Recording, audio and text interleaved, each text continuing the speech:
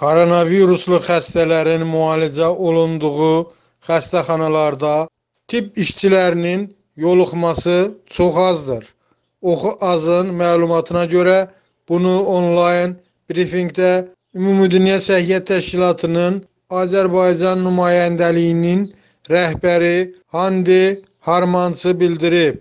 Onun sözlərinə görə tibb işçiləri arasında yoluxma halları əsasən kənar xəstəxanalarda işləyən tibb işçiləri arasında müşahidə olunur.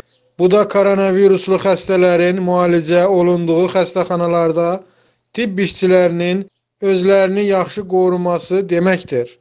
Kənar xəstəxanalardakı tibb işçiləri bu xəstəlik onlara yoluxmaz deyə qoruyucu tədbirlər görmürlər. Handi Harmançı qeyd edib ki, son statistikaya görə 300 tibb işçisi koronavirusa yoluxub.